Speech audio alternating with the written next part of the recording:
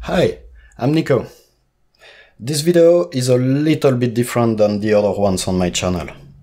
This one is actually taken from a 7 hours video course on building templates, writing for strings and mixing strings tracks. If you are interested in the whole course, visit digitalcomposing.com and check it out. Still, I thought that everyone would benefit from this video, so here we go. Okay, so far we've been covering a lot of ground since we started. We've added our libraries, we took care of the routing of the instruments to the, to the correct buses. We've been balancing our template, and that means the, the output volume of the instruments, but also the, the, the pre-gain to have, uh, to have uh, correct input volume. We've been matching our libraries together because they were not recorded in the same space. And to do that, we've used a convol uh, convolution reverb, so we've used EQs. We've also aligned the, the libraries to, uh, together. I've shown you how to to do this visually. So for, for example, here on CSS, we have uh, a track delay of minus 60, and this corresponds to the chamber strings track delay here. And while we were at it, we've also created expression maps so that we can switch between articulations during our track. Then we've also created our sketching area. We sketched the track using piano and then we orchestrated that on the strings. So far, our track is more or less complete, but it is still a bit stiff because some of these parts were just copy pasted, some of the parts were uh, created using step input rather than playing on the keyboard and just before we look at creating a mixing template and mixing this track, I think that we need to humanize it a bit. We need to make it breathe uh, a, little and to, to remove some of this uh, static feeling, right? We, we want really to make it a bit more human. So what I propose is that we listen to this track uh, one more time in its entirety to, to see where we are and then we will start the polishing. Uh, uh, I will show you stuff about event starts and tempo tweaks and how to humanize the quantization and the CCs and all that. So first, let's check where we are at this moment. Our three acts, intro, act two, act three, so the climax and a bit of uh, outro. So yeah, let's listen to this.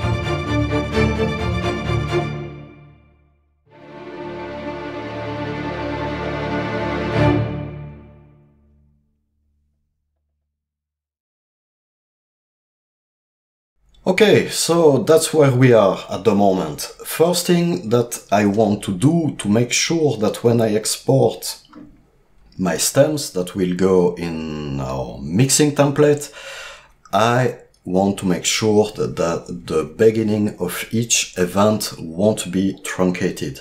And sometimes this happens, uh, especially on short notes, that the the first note of an event of an event will be cut off. And why is that? Is look, for example, we have this uh, Viola's pizzicato track, and we have a track delay of minus 60 here. So if I take my event and I start here. Uh, Cubase, when playing this track, will not be able to, to compute the, the minus 60 uh, delay. So what I like to do is to take all of my events and just to add, you see, just a bit of uh, empty space before. So, so this way, I'm sure that nothing will be truncated. There is something else for uh, long notes. If you remember, if we go at the beginning of our template, we created uh, starting events here. And these starting events, they, they contain the, the starting value for, for our different for our different CCs. So for example, we have one for vibrato, we have one for modulation, which is CC1, is this one, and one for expression. And uh, the default value for all the libraries that we use in this template has a CC1 value of 80 and uh, an expression of 127. And the vibrato is different for, for each library. Anyway, if I start playing here, for example, let's look at this long sustained note. As you can see, when the note starts playing, we start with a modulation of uh, what is it of roughly three and then we we grow. And same for the expression we we start here at about 30 the problem that we can potentially have is that because just before the start of this note, the CC1 value is at 80 and the expression is at 127, is that we would have uh, a bump here at the beginning of the note because the initial value is 80 and is not 4. So again, what I like to do is extend the event a little bit and to set the starting CC value at the beginning of the event.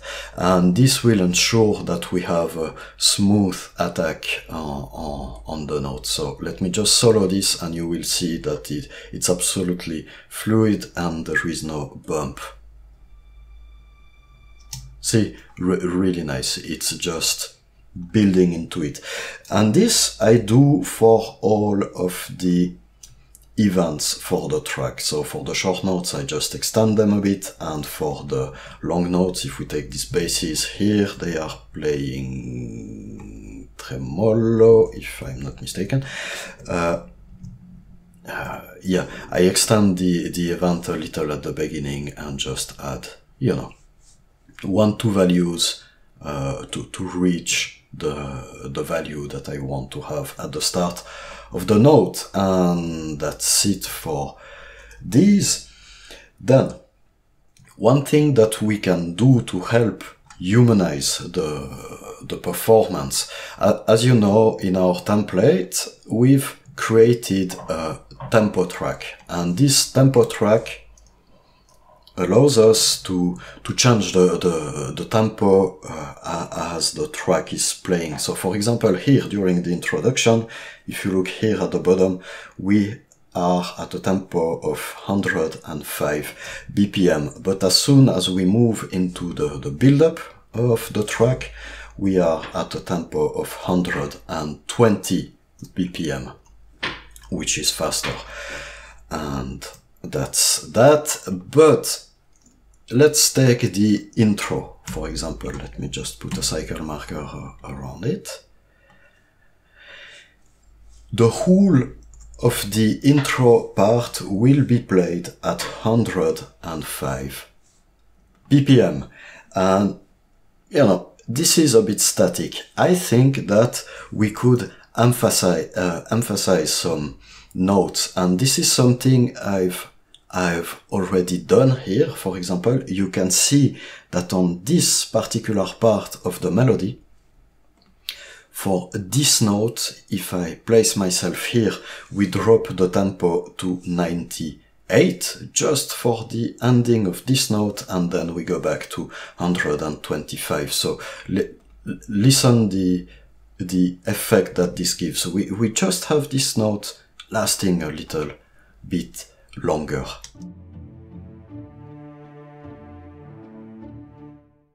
It's very subtle, right? But it helps humanize the stuff. So let, let me do it somewhere else as well.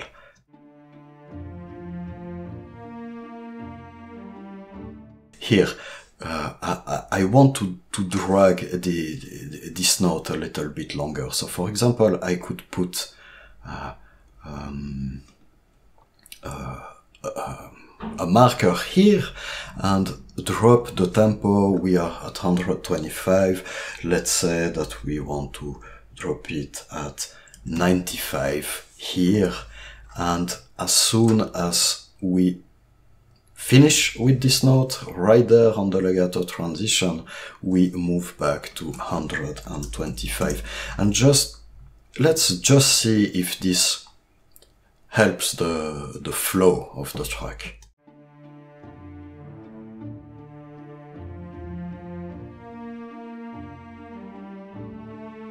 Okay, maybe it's a bit uh, uh, aggressive here, 95. You, you have to experiment with that, you know. So let's try 99. This is just you you go on a feeling, right? There there are no rules. There, there is no algorithm that will tell you how much you need to drop the the the tempo and where to to drop it.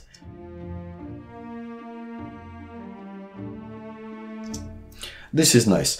And that you can do for the whole of your piece and it, it will help humanize this.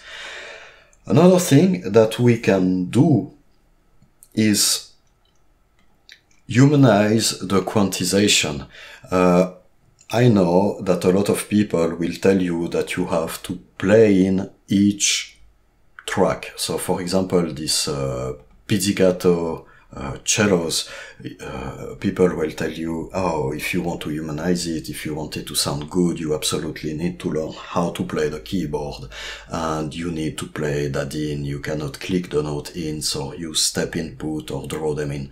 And, you know, to me, it's a bit of a crappy and elitist thing to say. It's not because you cannot play the keyboard that you cannot write music. Uh, you are not trying to be a performer, you are trying to be a composer. Right.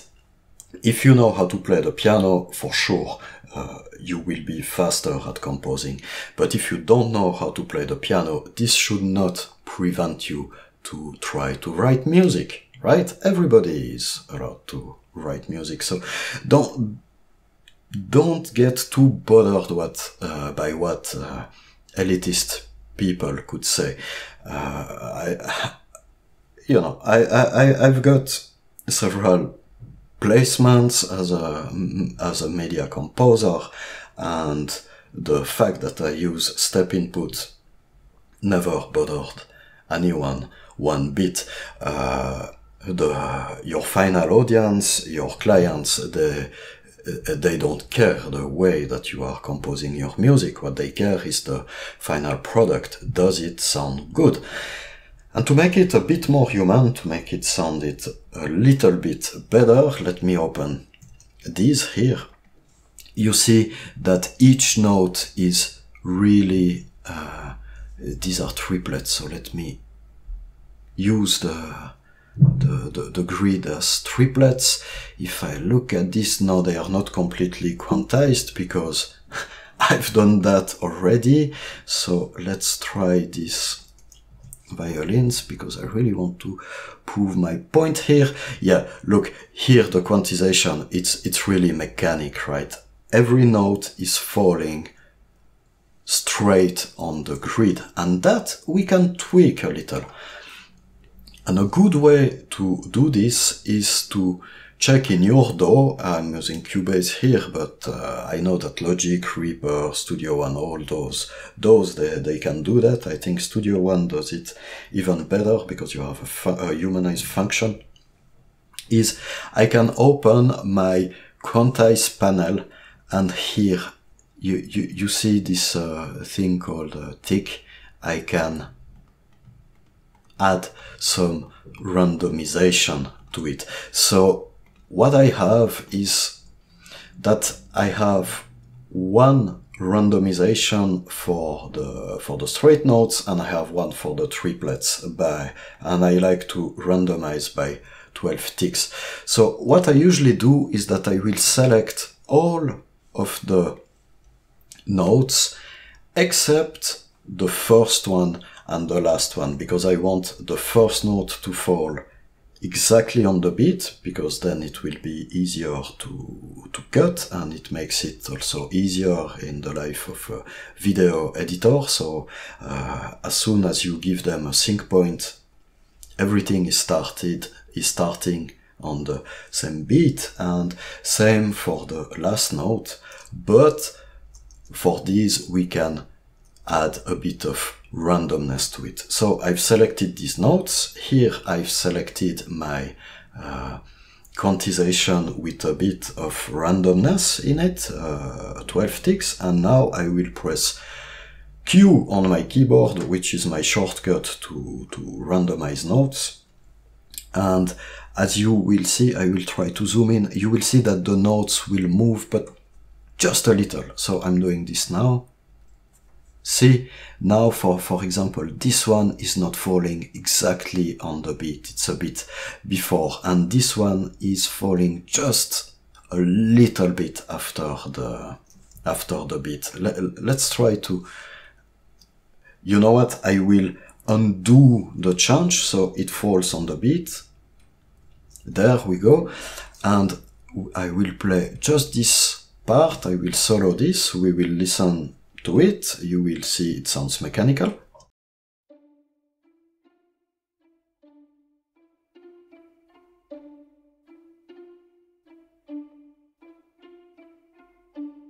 Okay, and now I'm going to apply this randomization again. So look, I press Q, now the notes moved a little bit and, and you will see it already sounds more human. Again, it's subtle, but when all the sections are playing together, it gives a bit more of this human feel.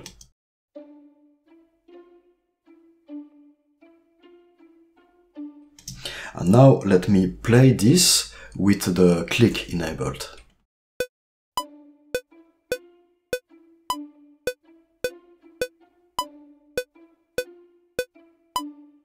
So we, we, we have a bit more groove here. We have a, a, a, bit more of a human touch and this is important. Also, while composing, uh, I said that the accents would be on a velocity of 62 and all the other notes would be on a velocity of 40 3. And if you look here at the bottom at the velocities, this looks like what a machine would do, not what a human would do. So this, you can also humanize a little bit. So typically what I would do is, for example, select these notes and the same as I did with the, with the quantization here, uh, I, I have a, a macro for, for the velocities. I will press it now and you see now it went all over the place. So I will just take them a little bit down so the accent are still louder uh, than the, than the non-accent and listen.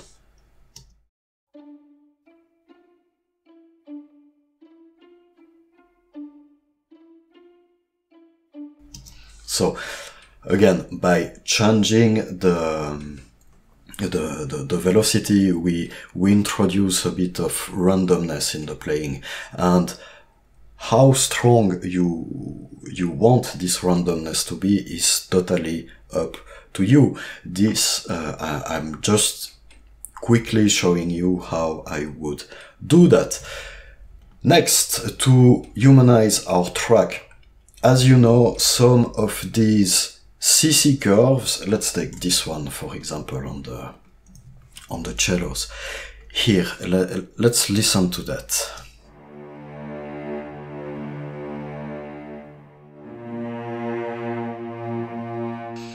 I wanted to have these waves and uh, and it's really cool, but again, look at it it's uh, it's very mechanical because we use the curve tool to to draw the the CC in for this particular part. So there are two ways to go about that. You can record your mod wheel uh, playing over it.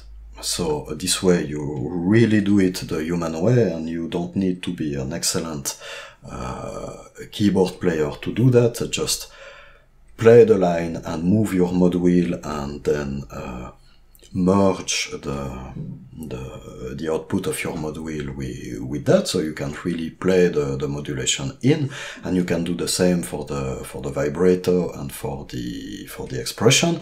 Or something else that you can do and sometimes uh, I, I, I do this as well is here I will remove the quantization. I will take my pencil tool and I will draw it in. And for, for drawing with the mouse I'm really not good. So my lack of drawing skills is actually a plus here because it will add some humanization to my to my playing. So let's see how this sounds now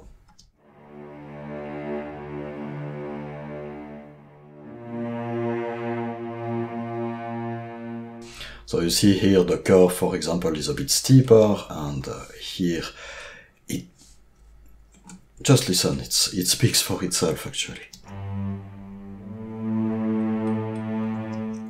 Okay, and this you can do for every track. You can you can even do it for the for the layers. So the layer of these uh, cellos of the CSS cellos are here with the chamber strings cellos, so you can, instead of copy pasting this one to this one, you could go into your layer and draw it as well. So you, you, you would really introduce some more humanization. And okay, this, this can be time consuming. It, it, it depends on the, on the deadline that you have, the time that you have at your at your disposal to to, to do these little tricks. To to, to be quite honest, uh, uh, I don't do it all the time. Uh, it, it, depends on the it, it completely depends on the project that I'm working on and what I'm trying to achieve. But if you want really to add this humanization to it, I would advise to, to introduce a bit of, uh, of randomness and uh, uh, human touch to your track. And the last thing I want to show you, let me find a part where this would be applicable. Um, here, here would be a, a, good thing. Look, we, we, we have, um, a really quiet part here. And then we have from here to here we have a small ramp up that move into the climax. So let's just listen to this part.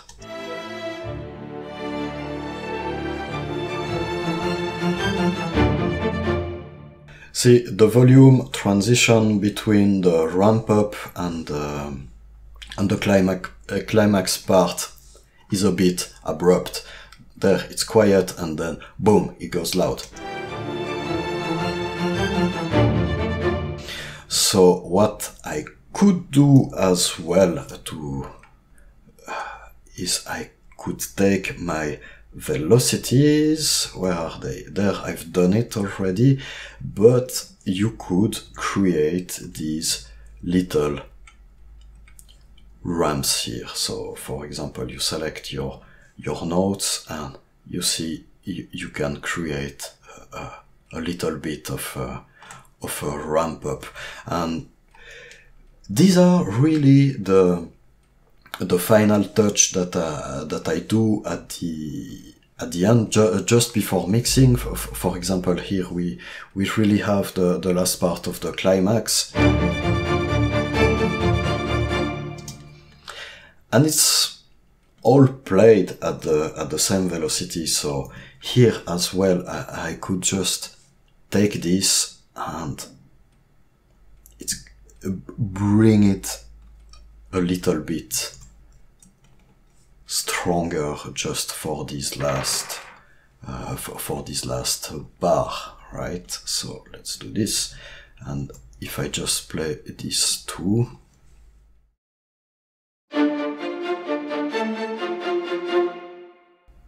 and the, the volume is increasing just a little bit it's subtle but if you do that on all the tracks, the, the, the volume change and the, the ramp up will be more prominent.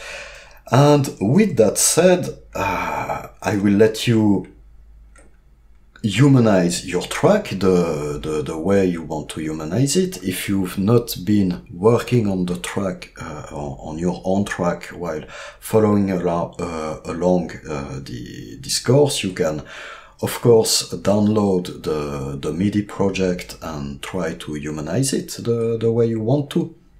If you are working on Cubase, you can also download the, the, the Cubase project. And once you are done in the next video, we will start looking at building a mixing template for our, for our strings uh, composition template.